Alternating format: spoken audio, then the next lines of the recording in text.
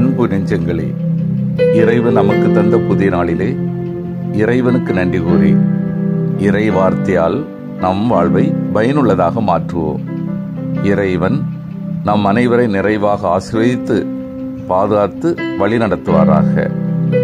இன்றைய விழா புனித அந்தரையா திருத்தூத விழா. மத்திய நற்செய்தி நூல் பிரிவு நான்கு இறை சொற்றொடர்கள் பதினெட்டு முதல் இருபத்தி இரண்டு முடிய அன்பார்ந்தவர்களே திருத்தூதரான அந்திரையா யோனாவின் மூத்த மகன் புனித சீமோன் பேதுரு அந்திரையாவின் சகோதர ஆவார். அந்திரையா புனித திருமுழுக்கு யோவான் சீடர் ஆவார். குறிப்பாக இயேசுவின் பன்னிரு திருத்துவர்களில் ஒருவர். இயேசுவின் அழைத்தல் அந்திரையாவுக்கு கல்லையா கடலிலே கிடைத்தது.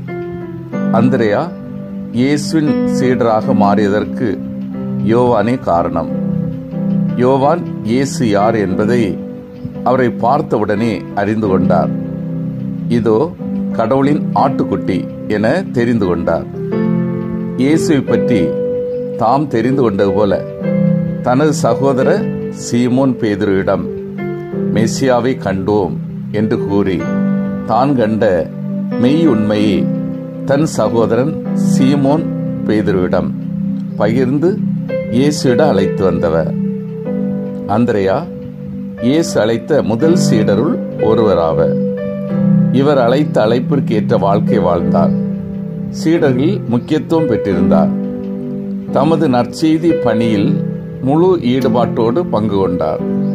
நற்செய்தியை போதித்தார்.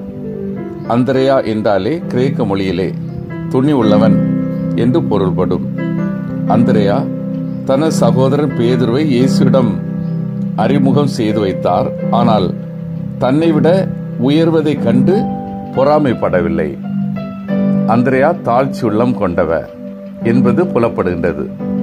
இவ்வாறு சீடருக்குரிய அனைத்து பண்பினையும் ஒருமித்து தன்னுடைய வாழ்வினை இறைவனுக்காக வாழ்ந்து மறைசாட்சியாய் மறித்து புனிதராகவும் திருத்துவராக விளங்கியவர் நமது அந்திரையா.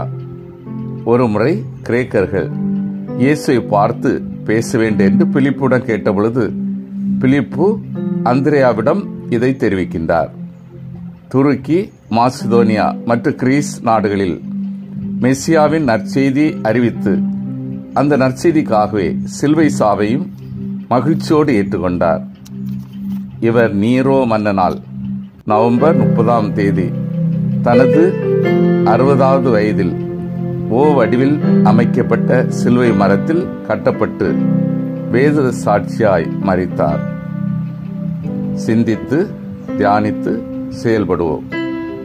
புனிதரை போன்று நற்செய்தி பணியை ஆர்வமாக முழு ஈடுபாட்டுடன் ஒவ்வொரு நாளும் செய்கின்றேனா? நான் இயேசுவின் உண்மையான சீடராக இருந்து சான்று வருகின்றேனா? புனிதரிடம் உள்ள தாழ்ச்சி மனநிலை என்னிடம் உள்ளதா? மன்றாடுவோம்.